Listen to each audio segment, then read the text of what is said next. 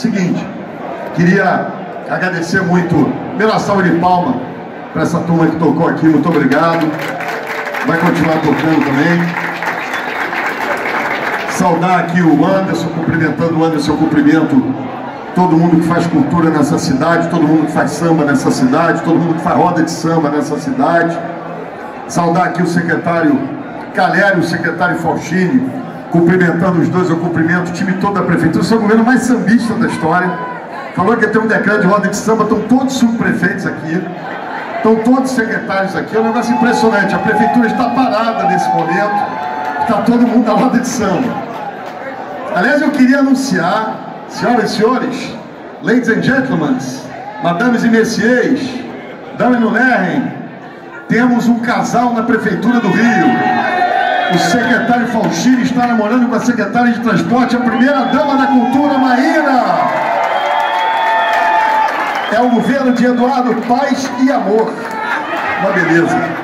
Mas olha, gente, você sabe por que eu estou falando isso para todo mundo agora no microfone? Que eu fui o último a saber da história da prefeitura. Se tivesse me contado a fofoca antes, eu guardava.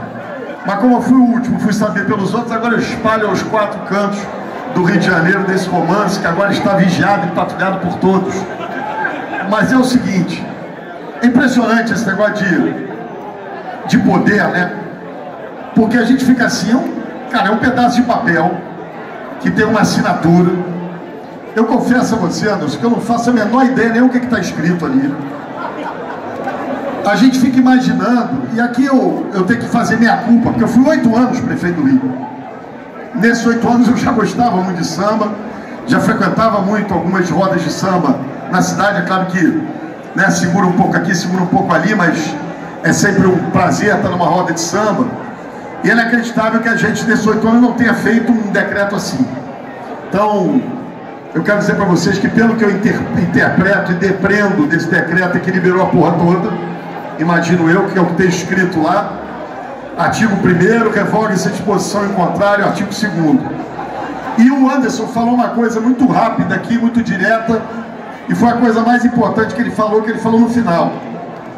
A gente sabe os propósitos de um governante a partir do orçamento, né? quando a gente destina recursos para uma determinada política pública.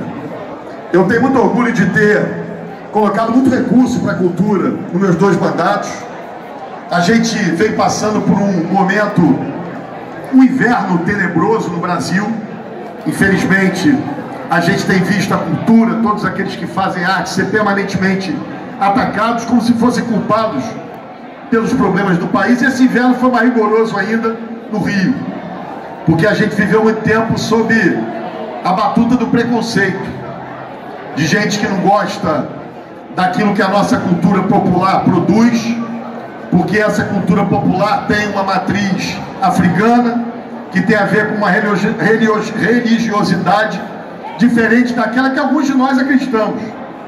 Mas esse inverno tenebroso era de gente que não conseguia entender o diferente e respeitar o diferente. Eu não tenho a menor dúvida que o que o carnaval sofreu ao longo desses anos, que a perseguição que o samba sofreu ao longo desses anos, tem um fundo religioso né, de não respeitar a fé e a crença dos outros, de não entender o diferente. Então, para a gente poder estar tá de volta, para mim é uma honra, o Anderson e esse time das rodas de samba, teve na campanha, a gente fez o um encontro lá no Cacique, aliás eu soube que abre sábado que vem, de novo, graças a Deus, o sábado domingo, mas a gente teve um encontro da campanha, eu assumi esse compromisso, pena que eu levei 10 meses para estar tá aqui, para assinar, e eu quero dizer para vocês, a gente vai, o secretário Faustini está autorizado já a colocar na rua. Eu acho que, eu, essa é de edital, eu acho esquisito pra caramba, acho que gente tem que fazer um programa mais de subsídio direto, tem que ver como é que juridicamente faz isso. Bate palma, porra, o Anderson tá pedindo. O cara sabe das coisas. Ô Marinho, não fica animado não, que aquele teu samba dá dinheiro pra caramba que tá lotado. Você, você não precisa de subsídio.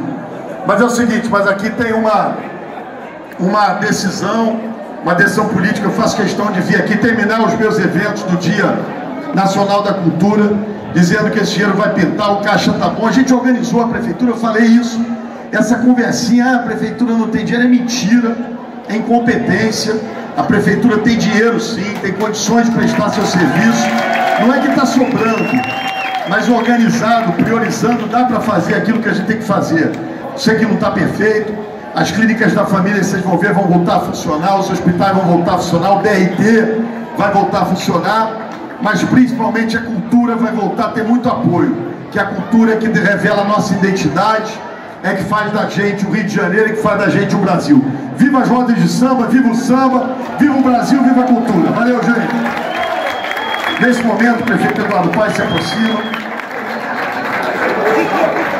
Pega uma caneta, que não tem que ter caneta.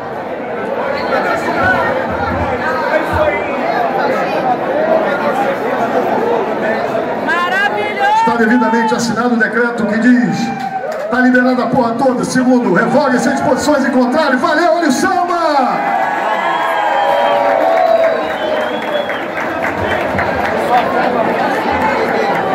Mais.